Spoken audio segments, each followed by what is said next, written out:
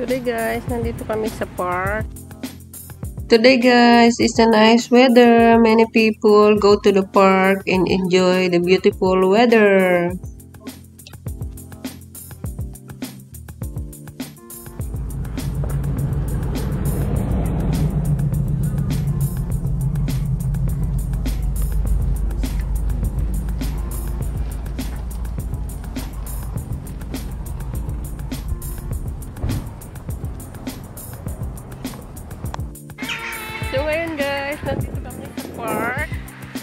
At sobrang daming tao today.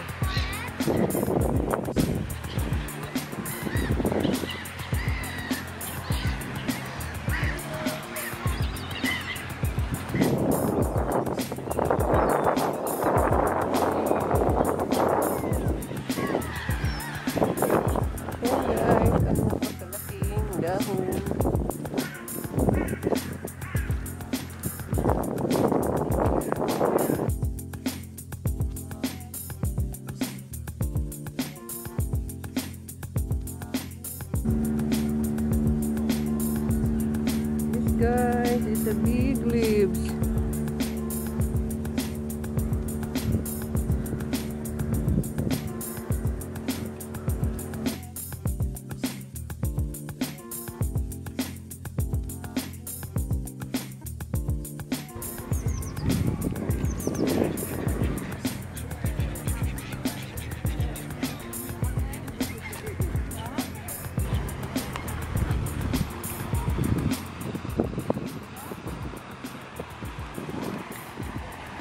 Pauwi na kami guys. Tapos na yung aming pamamasyal. So, uwi na. Maganda mamasyal dito guys kasi fresh ang hangin. Tapos pwede kang mag-upo-upo. Ang problema guys, napakalamig, malakas ang hangin dito. Still, ganito dito sa Denmark kasi wala siyang mountain. Kaya malakas ang hangin even malapit na ang summer. So, kaya kung makikita nyo kami ay mga naka-jacket. Kasi sobrang lamig pa din ng panahon.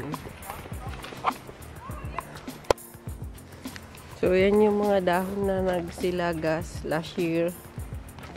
So, next year, tutubo na naman ang mga dahon ng magagandang puno. So, galing kami doon, guys. Kasi yung aking asawa. Makikita nyo, guys, sobrang daming kotse. Kasi ang daming namasyal ngayong Sunday. So, yung aming car ay nakaparking doon sa kabilang street.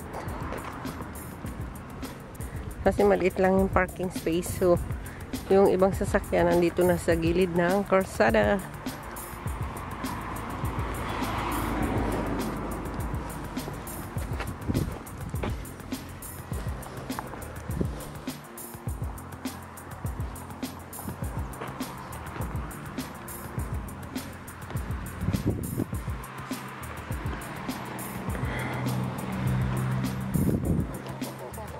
Go, go, go, go. We're going home.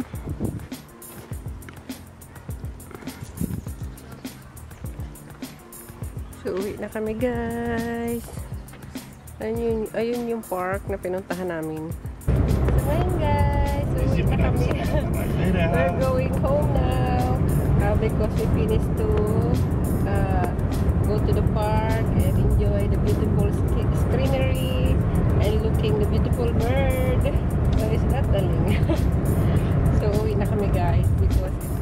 not good to stay there. It's very cool. Even though it's uh, finished the winter, it's still cool here in Denmark because we